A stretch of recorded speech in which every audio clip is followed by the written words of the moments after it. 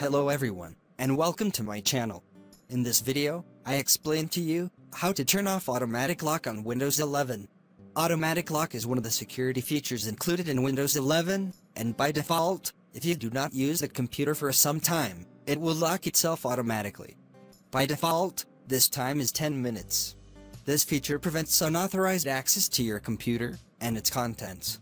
Although this feature is considered safe for you, there are some users who do not like Windows 11 to lock automatically.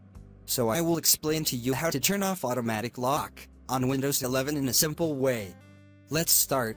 Click on the Start menu, and from there select Windows 11 Settings.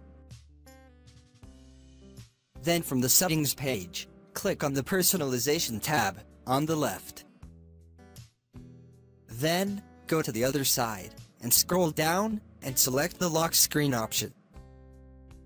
Here, click on the screensaver option, under the related settings section. The screensaver settings window will open, uncheck the on resume, display logon screen checkbox. Then, click on the drop-down menu under screensaver, and select the none option. Then click apply and OK, and you have disabled the automatic lock in Windows 11, and you can undo it at any time, and enable the automatic lock again, and after completing these steps, the automatic lock will be disabled permanently. I think the steps are very simple. Thank you for watching. I hope the video is useful to you. I also hope to subscribe to my channel. Thank you all.